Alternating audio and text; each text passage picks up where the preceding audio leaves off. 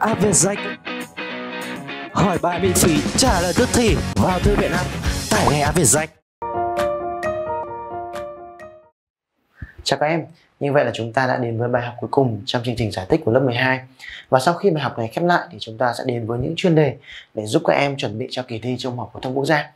Và bài học ngày hôm nay của chúng ta có tên là phương trình bậc 2 với hệ số thực.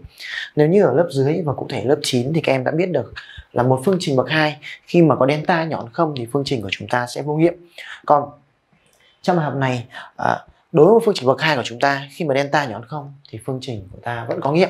Vậy nghiệm của phương trình bậc 2 khi mà delta nhỏ hơn không là như thế nào? Thì chúng ta đầu tiên chúng ta sẽ đến với phần thứ nhất, một la mã là căn bậc 2 của số thực âm và phần thứ hai là phương trình bậc 2 với hệ số thực bây giờ thì chúng ta sẽ cùng nhau đến phần đầu tiên một la mã căn bậc 2 của số thực âm thì ở những bài học trước thì chúng ta đã biết được là cái đơn vị ảo y bình phương của chúng ta thì sẽ bằng âm 1 thế khi mà y bình phương bằng âm 1 thì chúng ta sẽ nói là uh, căn bậc 2 của âm 1 sẽ bằng y hoặc là căn bậc 2 của ờ, âm 1 thì sẽ bằng trừ y. Thì từ khái niệm này từ cái đẳng thức này thì chúng ta uh, sẽ rút ra được cái căn bậc 2 của một số âm như sau. Ví dụ như đây thầy có được là căn bậc 2 của âm 2 sẽ là cộng trừ y căn 2 bởi vì là khi cộng trừ y căn 2 bình phương lên thì sẽ có âm 2 đây nhá căn 2 bình phương lên thì bằng bằng 2 còn cộng trừ y bình phương lên thì bằng âm 1 âm 1 nhân với 2 thì sẽ bằng âm 2 thế như vậy là căn bậc 2 của âm 2 thì sẽ bằng cộng trừ y căn 2 tương tự như vậy chúng ta có được là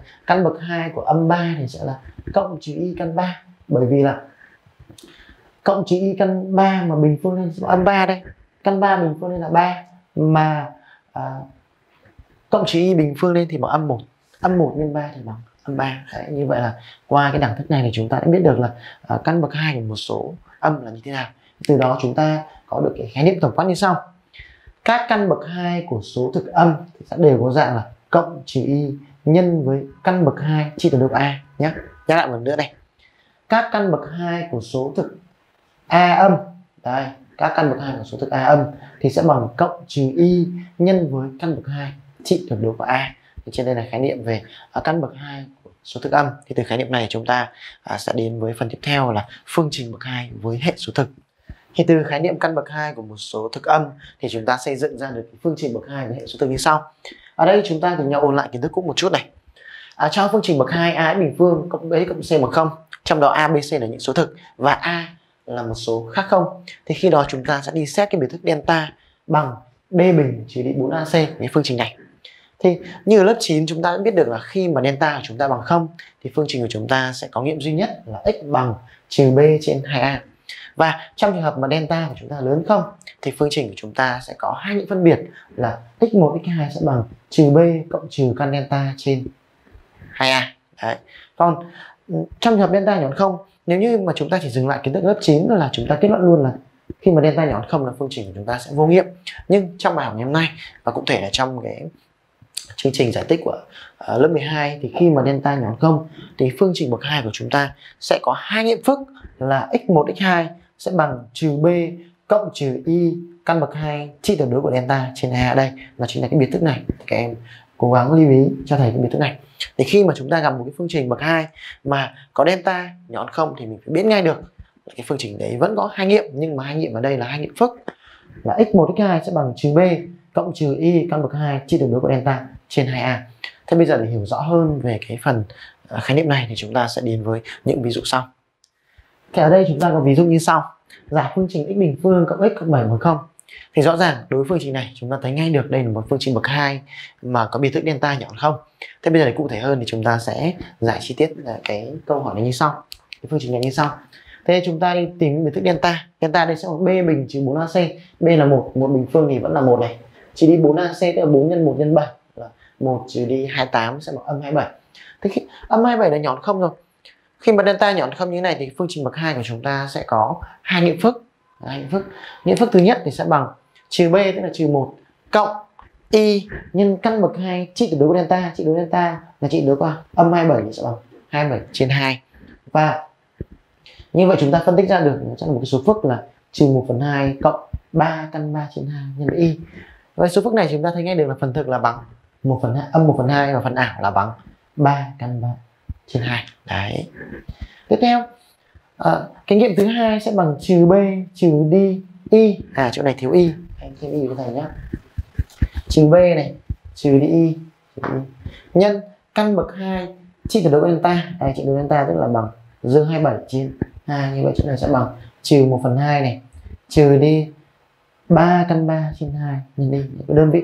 À, phần thực là trừ 1 phần 2 và à, phần ảo là trừ 3 căn 3 trên 2 đây là một phương trình bậc 2 với ờ, à, biến thức delta mà nhọn không thì chúng ta sẽ làm như này. Tiếp theo chúng ta sẽ đến với những cái bài toán và à, xuất hiện trong những đề thi thử của một số trường à, liên quan đến những phương trình bậc 2 với hệ số thực như sau. Tiếp theo chúng ta sẽ đến với ví dụ thứ ba. À, gọi z1 z2 là hai nghiệm của phương trình. Z bình phương trừ 4z cộng 13 bằng 0 người ta bảo là tính giá trị của thức z1 uh, à, cộng z2 tức là bình phương thế đối với toán này thì tất nhiên là các em uh, ở đây chúng ta có một phương trình bậc 2 là z bình trừ 4z cộng 13 bằng 0 à, đối với bài toán về giải phương trình bậc 2 dù là nghiệm uh, thực hay là uh, nghiệm phức thì chúng ta đều có thể sử dụng được máy tính cầm tay và cụ thể là máy Casio 570 580 VNX đều được. Nhưng trong quá trình chúng ta mới bắt đầu học cho nên là thầy khuyên các em là nên chúng ta giảm bằng tay đúng không? Mình cứ nên giải bằng tay trước để cho mình thành thạo. Khi nào mà chúng ta thành thạo phương pháp tự luận rồi, mà mình thành thạo những kiến thức thì mình có thể sử dụng máy tính trong quá trình làm đề thi sau. Thì đối bài này thì chúng ta sẽ làm từng bước giống như trong phần kiến thức mà chúng ta được học như sau. Ở đây, người ta bảo gọi z1 z2 là hai nghiệm của phương trình z bình trừ 4z cộng với bằng không. Tìm giá trị của biểu thức z1 cộng z2 thế là bình.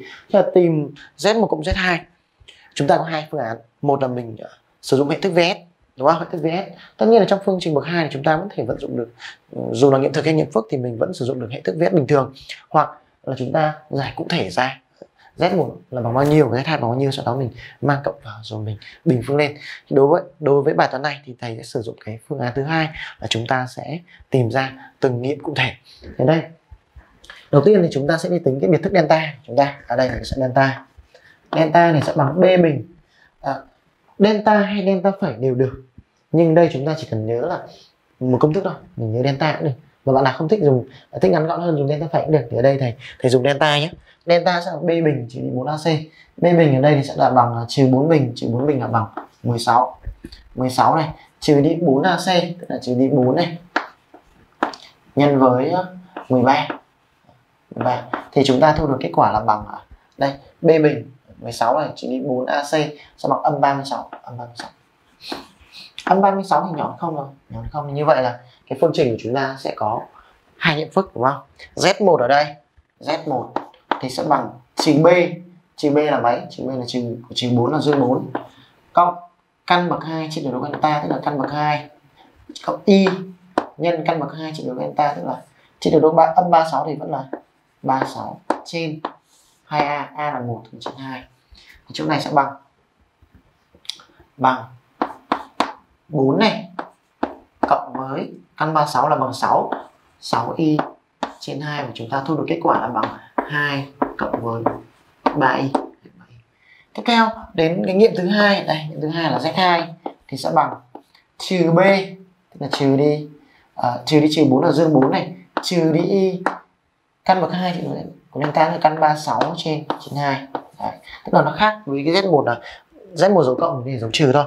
Thì sẽ bằng 2 trừ đi 3y người ta bảo là tính z1 cộng z2 thì bình phương thì ở đây chúng ta sẽ suy ra được z1 cộng z2 bình phương bằng, nào z1 là bằng 2 cộng 3y 2 cộng 3y cộng với 2 trừ cộng z2 là 2 trừ đi 3y bình phương thì 3y với trừ 3y hết.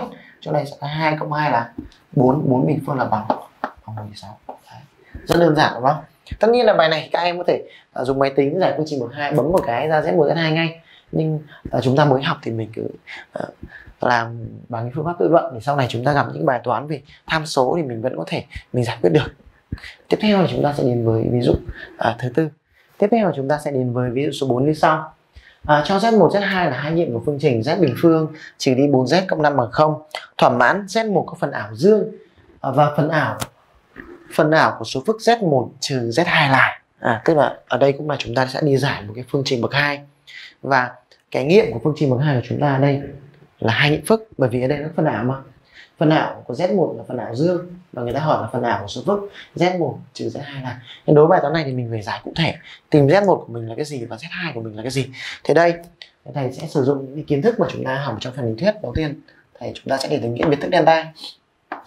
Delta đây sẽ bằng b bình trừ 4ac trừ 2 bình phương là 4 này.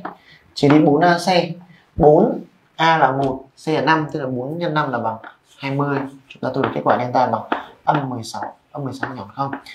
Thì khi delta nhỏ không thì phương trình bậc hai của chúng ta sẽ có hai nghĩa phức, đúng không? Nghĩa phức. Z1 và z2 thì đây z1 người ta bảo là à, z1 là có phần ảo dương. Thì z1 đây z1 sẽ bằng trừ b. Trừ b tức là trừ của trừ 2 là dương 2 phần ảo dương tức là cộng với y nhân căn bậc 2 chịu được delta tức là căn của 16 trên 2a là trên 2 thì chỗ này sẽ bằng nào 2 chia 2 được 1 căn 16 là 4 4 chia 2 là được 2 cộng với 2y tương tự như vậy chúng ta sẽ có được z2 z2 sẽ bằng trừ b tức là bằng rồi thầy làm nhanh nhé. Rồi trừ b sẽ bằng trừ trừ 2 là 2 này. Trừ đi y căn 16 trên 2 chúng ta thu được kết quả là gì? Là 1 1 trừ đi 2y, Thế người ta bảo là phần ảo của số phức Z1 trừ Z2 thì đây mình sẽ suy ra là có Z1 có Z2 rồi chúng ta sẽ có được Z1 trừ Z2 đây sẽ bằng. Nào Z1 là bằng 1 cộng 2y 1 cộng 2y trừ đi 1 trừ 2y tức là trừ đi 1 này. Cộng với gì? Cộng với 2y, như vậy chúng ta thu được kết quả là bằng bằng 4y đấy Z1 trừ Z2 sẽ là một số phức. 4y chúng ta bảo là phần ảo của số phức z1 trừ z2 như vậy suy ra cái phần ảo của chúng ta là bằng mấy? À, phần ảo hệ số đơn vị ảo y là bằng bằng 4 đấy cũng là một toán một bài toán hết sức đơn giản đúng không? Hết sức đơn giản. À, thì đối với bài toán về uh, giải phương trình bậc 2 uh, à, với biệt thức delta nhọn không thì chúng ta có thể sử dụng máy tính này chúng ta có thể sử dụng hệ thức VS này chúng ta có thể giải cụ thể ra. Thì uh, trên đây là hai cái ví dụ mà thầy đi giải cụ thể ra. Thế bây giờ đối với những bài toán mà chúng ta sử dụng hệ thức VS sẽ là như thế nào? Thì chúng ta sẽ cùng nhau chuyển sang ví dụ thứ năm. Tiếp theo chúng ta sẽ đến với ví dụ thứ năm. Thì đây chúng ta có nội dung ví dụ thứ năm như sau gọi z1 z2 là các nghiệm của phương trình z bình phương này trừ 8z cộng 26 bằng 0 tính tích của z1 nhân với z2 thì đối với bài toán này thì các em có rất nhiều phương án để mình giải quyết. Phương án thứ nhất là các em có thể sử dụng máy tính bấm cho nhanh đúng không? Bấm giải phương trình bậc 2. thứ hai là chúng ta có thể uh, giải cụ thể z1 z2 ra bằng bao nhiêu. Và thứ ba thì chúng ta có thể sử dụng cái hệ thức vs thì tất nhiên hệ thức vs thì chúng ta đã đều biết ở lớp 9 rồi. Nhưng trong trường hợp mà delta nhỏ hơn không thì chúng ta vẫn sử dụng được hệ thức vs như bình thường. Thì đây thầy sẽ nhắc lại cái hệ thức vs mà chúng ta đã được học như sau. Ở đây thầy có phương trình bậc hai là ax bình phương a bình phương cộng với bx cộng c bằng không. À, và thầy có x1 x2 là hai nghiệm của phương trình này. Thì theo hệ thức vs thì chúng ta sẽ có như sau. Đấy. với x1 x2 là hai nghiệm của phương trình bậc 2 thì chúng ta sẽ có được này. X1 cộng với x2 là bằng trừ b trên a. Và x1 nhân với x2 là bằng c trên a trên a. Thế đây, thầy gọi z1 z2 gọi z1 z2 là hai nghiệm, là hai nghiệm. Thầy viết tắt trách nhiệm nhé. Hai nghiệm của phương trình, của phương trình sao này, gọi phương trình sao nhé, là hai nghiệm của phương trình sao. Thì như vậy chúng ta sẽ có được, ta có z1 nhân z2 z1 nhân z2 là bằng c trên a. C đây là gì? C là 26 đúng không? 26 như vậy là 26 trên a 26 trên 1 là bằng bằng 26 như vậy là bài toán chúng ta được giải quyết xong Đây. theo tích vs là z1 nhân z2 là bằng c trên a. C của mình ở đây là bằng c bằng 26 a của mình là là 1 như vậy z1 nhân z2 là bằng c trên a bằng 26 trên 1 bằng 26 Đấy, như vậy. Là rất đơn giản. Khi mà bài, một bài toán chúng ta sử dụng hệ thức vs thì giải quyết rất là nhanh. Tiếp theo chúng ta sẽ đến với ví dụ số 6 tiếp theo là chúng ta sẽ đến với ví dụ thứ sáu. Thì nội dung ví dụ thứ sáu như sau. Gọi z1 z2 là hai nghiệm phức của phương trình 4z bình phương trừ 4z cộng 3 bằng 0 đề bài người ta yêu cầu là tính giá trị của biểu thức z1 trên z2 cộng z2 trên z1 thì đối với bài toán này thì thầy sẽ đi sử dụng hệ thức vs để chúng ta đơn giản cái bài toán của chúng ta đi. Thay vì là mình tính ra cụ thể z1 và tính cụ thể ra z2 thì đây à, nếu mà chúng ta có z1 z2 là hai nghiệm phức của phương trình 4z bình trừ 4z cộng 3 bằng 0 thì chúng theo hệ thức vs thì chúng ta sẽ có được là z1 à, cộng với z2 z2 à, bằng bằng gì nhỉ? Bằng trừ b trên a đúng không? Tức bằng trừ 4 trên 4 là bằng bằng 1 và z1 nhân z2 z1 nhân z2 là bằng c trên a c là 3 a là 4 là bằng 3 phần 4 3 phần 4 thì đến đây chúng ta cùng nhau đi phân tích. Đây này mình sử dụng hệ thức vs mình thu được ờ, cái kết quả như này. Đến đây ờ, z1 trên z2 cộng z2 trên z1 thì thầy sẽ biến đổi một chút. Ở đây thì biến đổi như sau. À, chúng ta sẽ có ta có z1 trên z2 mà cộng với z2 trên z1 thì chúng ta sẽ quy đồng lên như sau. Quy đồng lên đây sẽ bằng z1 trên z1 là z1 bình phương này. Z2 trên z2 thì sẽ là z2 bình phương này cộng z2 bình phương. Z2 bình phương. Trừ đi trừ đi. À thôi rồi như này thôi trên z1 đến z2 thì đây z1 bình phương cộng z2 bình phương thì thầy sẽ biến đổi phân tích ra. Ở đây nó sẽ bằng z1 đây, cộng với z2 tất cả là bình phương bình phương. Xong sau đó thì chúng ta sẽ trừ đi trừ đi hai lần z1 nhân với z2 trên z1 nhân z2 và đến đây chúng ta thay ngược vào. Z1 cộng z2 bằng mấy? Bằng một. Mà một bình phương thì vẫn là vẫn là một. Z1 nhân z2 là bằng 3 phần 4 2 nhân 3 phần 4 nó là trừ đi trừ đi 3 phần 2 à. trên mẫu nào? Mẫu z1 nhân z2 là 3 phần 4 như vậy chúng ta sẽ có có được kết quả là z1 trên z2 cộng với z2 trên z1 là bằng 1 trừ 3 phần 2 trên 3 phần 4 và kết quả cuối cùng là bằng âm 3 phần 2 à, âm 2 phần 3 Đấy. Như vậy là một cái bài toán tưởng chừng là phức tạp. Nhưng mà chúng ta sử dụng hệ thức VS thì chúng, sau một thời gian biến đổi thì chúng ta thu được kết quả là bằng trừ 2 phần 3 rất đơn giản đúng không? Tiếp theo chúng ta sẽ đến với một bài toán chứa tham số ở ví dụ số 7 thì vừa rồi chúng ta đã trải qua những cái ví dụ hết sức cơ bản. Tiếp theo thì chúng ta sẽ đến với ví dụ thứ bảy. Và là một cái ví dụ có chứa tham số.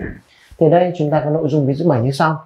Trong tập số phức cho phương trình z bình phương cộng mz trừ y bằng 0 tìm giá trị của m để tổng bình phương hai nghiệm của phương trình là bằng 4y thì đây thầy sẽ gọi z1 z2 là hai nghiệm của phương trình trên. Đây, gọi z1 z2 là hai nghiệm của cái này thầy gọi là phương trình sao nhé. Hai nghiệm của phương trình sao. Phương trình sao, sao? À, à, theo đề bài chúng ta có là tổng bình phương hai nghiệm. Đây tổng bình phương hai nghiệm của phương trình bằng 4y tức là theo đề bài chúng ta có ta có tổng bình phương hai nghiệm, tức là z một bình à, cộng với z hai bình là bằng 4y tổng bình phương hai nghiệm thì bằng à, 4y thế z một bình cộng z hai bình thì giống như bài trước thì chúng ta sẽ có được tương đương với z1 cộng với z2 tất cả bình trừ đi 2 nhân z1 nhân z2 là bằng bao nhiêu? Bằng 4y tổng bình phương hai nghiệm là bằng đi. Thế z1 uh, à, cộng z2 nào. Z1 cộng z2 thì theo phân tích vs thì chúng ta sẽ được là bằng trừ b trên a. B đây là m đúng không? B là m. A là một tức là trừ b trên a tức là trừ m trên một tức là trừ m trừ m bình phương thì sẽ là m bình. Bình phương thì sẽ mất cái, cái dấu âm đi. Tiếp theo trừ đi 2 nhân z1 nhân z2 tức là trừ đi. Trừ đi 2 nhân với à, ở z1 nhân z2 bằng c trên a c là trừ y a là một trừ y trên một là là trừ y như vậy chỗ này sẽ là dương 2y bằng 4y như vậy chúng ta sẽ thu được là bằng ở đây m bình m bình của chúng ta là bằng 4y à, cộng với 2y là bằng dương 2y à, 4y trừ đi 2y là 2y thì vấn đề ở đây này các bạn gặp m bình bằng 2y đến đây các bạn. Sẽ thấy nó khó giải quyết. Thế đây thì sẽ làm như sau. Thầy sẽ uh, cộng thêm một đây m cộng với hai thêm một này, một cộng hai, một cộng hai thì mình mình tự ý cộng thêm một thì mình phải trừ đi trừ đi một, trừ đi một. Thế đây thầy sẽ biến đổi tiếp tục là, đây sẽ là m bình này, bằng. Một đây sẽ là một bình một bình, viết dạng một bình này, cộng với hai y trừ một thì bằng gì nhỉ? Trừ một thì sẽ bằng y bình phương, cộng y bình phương. Như vậy, chúng ta sẽ thu được ở đây à, chúng ta có được m bình sẽ bằng một cộng với y tất cả bình phương. Đấy m bình bằng 1 cộng y tất cả bình. Thế khi mà m bình bằng 1 cộng y tất cả bình thì chúng ta sẽ được tương đương với, tương đương m ở đây thì sẽ bằng 1 cộng y.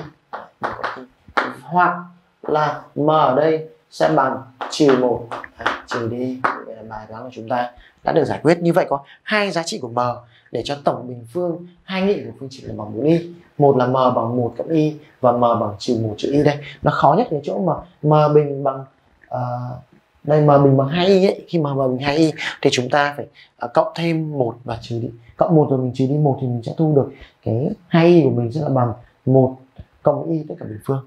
Như vậy chúng ta thu được m bằng 1 cộng y tất cả bình và từ đó chúng ta sẽ có m bằng 1 cộng y và m bằng trừ 1 trừ đi. Như vậy là có hai giá trị là chị mời thì đây là một bài toán chữ tham số.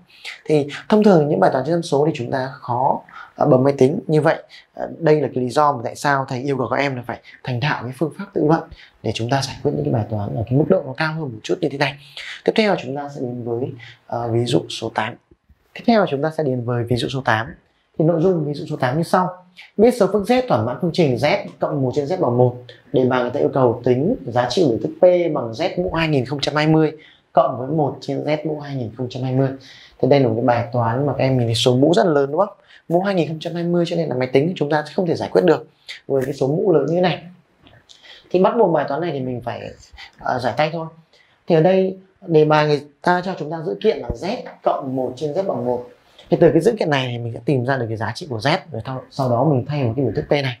Thì đây từ cái dĩ kiện đề bài người ta cho là z cộng 1 trên z bằng 1 thì chúng ta sẽ có một cái phương trình uh, bậc hai như sau là z bình. Thầy gọi phương trình phương trình một nhé rồi sao đi. Sao sao? Thì như vậy ta có. Cái phương trình sao ở đây thì sẽ tương đương với cái giá trị là uh, z bình phương. À, cái phương trình là z bình. Z bình thì trừ đi z cộng với một được không? Như vậy à, cái phương trình z bình trừ z cộng một bằng không thì chúng ta vận dụng kiến thức ở phần trước thì chúng ta dễ dàng tìm ra được hai nghiệm phương trình này là một nghiệm là z thì sẽ bằng à, một cộng với căn 3 nhân y trên 2 và một giá trị z là bằng 1 trừ đi căn 3 nhân y trên 2 Thế đây chúng ta có hai giá trị của z. Như vậy là biểu thức P của mình sẽ có chia thành hai trường hợp. Trường hợp thứ nhất, trường hợp một Trường hợp một là với z ở đây, z là bằng 1 này cộng với căn 3 nhân y trên 2. Trường hợp là z bằng một cộng căn 3 trên 2. Thì bây giờ mình thay vào để mình tính P. P đây có tận z mũ 2020 cộng với 1 trên z mũ 2020. Thì đây chúng ta cần phải tính được là uh, z mũ 2020 là bằng cái gì? Thế đây z mũ 2020 thì tức là sẽ bằng à, 1 cộng với căn 3y trên 2 mũ 2020 và thầy. À, phân tích ra sẽ là 1 cộng căn 3 nhân y tất cả mũ 2020 trên 2 mũ 2020 à, lớn như này thì máy tính của chúng ta bấm thì không ra đâu bởi vì một số mũ lớn như này mũ 2020 thì máy tính không ra.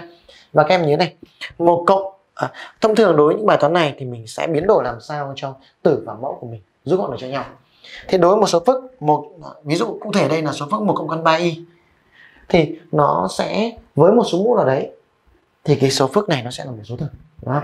với một cái số mũ, ví dụ là mũ 2 hay mũ 3 một cộng căn 3 y, mũ 2 mũ 3 thì nó sẽ ra một số thực và đây chúng ta, các em sử dụng máy tính nhé các em bấm này, một cộng căn 3 y, mũ 2 mũ 3 thì đây, chúng ta thấy ngay được là một cộng căn 3 y mà mũ 3 thì sẽ bằng âm 8 như vậy thì sẽ biến đổi làm sao để xuất hiện cái một cộng căn 3 nhân đi mũ 3 thì ở đây thì sẽ tách ra như sau. Tách ra đây sẽ là một cộng với căn 3 nhân đi nhân với một cộng với căn 3 nhân y mũ 2019 à, tách ra như này. Tại sao lại tách ra như vậy? Bởi vì chúng ta biết được là một cộng căn 3 y mũ 3 thì bằng âm 8 nhưng mà 2020 thì không chia cho cho 3 mà chỉ có 2019 chia cho 3 thôi. Như vậy tách ra như này xuất hiện 2019 được chưa? Trên dưới mẫu chúng ta vẫn là hai mũ 2020 được chưa? Đến đây mình đã biến đổi tiếp này. Đây sẽ là bằng 1 cộng với căn 3 nhân y. Căn 3 nhân y. Nào, ở đây thì sẽ viết như sau. Cái chỗ 2019 này thì sẽ tách ra là bằng 3 nhân với 673 cái chỗ này sẽ là 1 này, cộng với căn 3 nhân y, mũ 3 tất cả mũ 673 trên, vẫn trên 2 mũ 2020 dạ. Thế đây một cộng căn 3y thì chúng ta bấm máy tính thì nó sẽ ra được kết quả âm 8 được chưa? Thì chỗ này sẽ là bằng âm 8 1 này, cộng với căn 3 bài này hơi dài dòng một chút này. Căn 3 nhân y nhân với cả trừ 8 mũ 673 trên 2 mũ 2020 Thế trừ 8 mũ 673 thì sẽ là trừ 1 mũ 673 nhân 8 mũ 673 Thế trừ 1 mũ 673 thì nó vẫn là gì? Nó vẫn là trừ 1 Thì đây, cái dấu trừ của trừ 8 thì thầy viết ra ngoài. Trừ 8 À trừ ra ngoài, đây sẽ là 1 này, Cộng với căn 3 nhân đi Thế Trừ 8 mà 1 ra ngoài thì còn gì nhỉ? Còn 8 8 thì tức là nó bằng 2 mũ 3 8 2 mũ 3 2 mũ 3 mà mũ thêm 673 thì chỗ này sẽ là 2 mũ 2019 để cho trên 2 mũ 2020 Chà. Thế 2019 mà trên 2020 thì như vậy chúng ta thu gọn lại được thì sẽ còn kết quả là bằng trừ 1 trừ trừ 1 này cộng với căn 3 trừ đấy nhé trừ trừ của 1 cộng căn 3 trên 2 Đấy, kết quả cuối cùng thu được như này. À, y nữa nhá. Như vậy à, sau một quãng thời gian biến đổi thì chúng ta đã tìm được z mũ 2020 đấy sẽ bằng trừ của 1 cộng căn 3 trên đi nhân à, trên 2 à, 1 cộng căn 3 nhân đi trên 2 thì từ đó chúng ta sẽ có được là khi mà tính được z mũ 2020 thì mình sẽ suy ra được suy ra được là 1 trên z mũ 2020 ở đây sẽ là bằng uh, nghịch đảo cái này. Nghịch đảo này sẽ là bằng trừ 2 trên 1 cộng căn 3 đi như vậy à, đến đây thì chúng ta sẽ thu được kết quả đây sẽ bằng ừ, thu kết quả đây sẽ là bằng trừ 1 trừ 1 phần 2 cộng với căn 3 trên y cái này em dùng máy tính thôi nhé em dùng máy tính nhé. À, 2 cho 1 cộng căn 3 nhân y thì chúng ta thu kết quả là trừ 1 phần 2 cộng với căn 3 trên 2 nhân y như vậy suy ra lúc này cái biểu thức P là bằng Z mũ 2020 cộng với 1 trên Z mũ 2020 thì sẽ là bằng chỗ này thì sẽ phân tích ra phần thực với phần thực và phần nào phần nào nhé. Sẽ là trừ một phần hai này. Cộng với căn 3 trên 2 nhân y.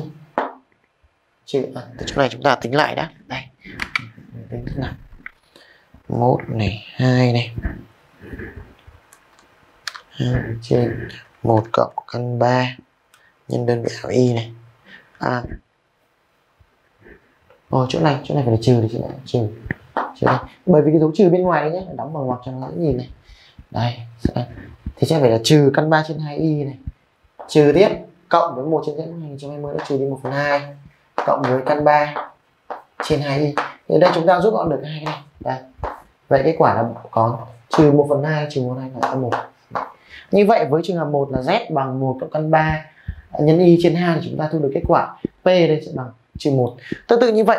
À, đối với trường hợp 2 trường hợp 2 là z ở đây sẽ bằng z là bằng à, 1 trừ đi căn 3 nhân với y trên 2 thì các em cũng làm tương tự như với trường hợp 1 thì chúng ta cũng thu được kết quả. Đây thầy sẽ không làm cụ thể nữa mà thầy sẽ chỉ ghi kết quả và các em phải tự phải làm với thầy. Cái trường hợp 2 và chúng ta thu được p đây cũng là bằng bằng trừ 1 nhé đấy. Trường hợp 2 làm tương tự như trường hợp 1 này trở hợp 2 làm tương tự như trường một thế là một cái bài toán mà có thể nói là chúng ta biến đổi khá dài thì chúng ta mới ra được kết quả uh, của cái biểu thức p. Và cái bài toán này cũng khép lại cái uh, bài giảng ngày hôm nay của chúng ta. À, và thầy mong rằng qua bài giảng ngày hôm nay thì các em có thể uh, biết được rằng là với đối với một phương trình bậc hai khi mà biệt thức delta âm thì chúng ta vẫn có hai nghiệm nhưng hai nghiệm đấy là hai nghiệm phức. Và các em thành thạo được những bài toán liên quan đến giải những cái phương trình bậc hai mà có biệt thức delta nhỏ không và à, xin chào và hẹn gặp lại em ở trong những bài giảng lần sau. Khóa học về rách. Sự lựa chọn của hàng triệu phụ huynh và học sinh. Trải nghiệm ngay khóa học của Vietjet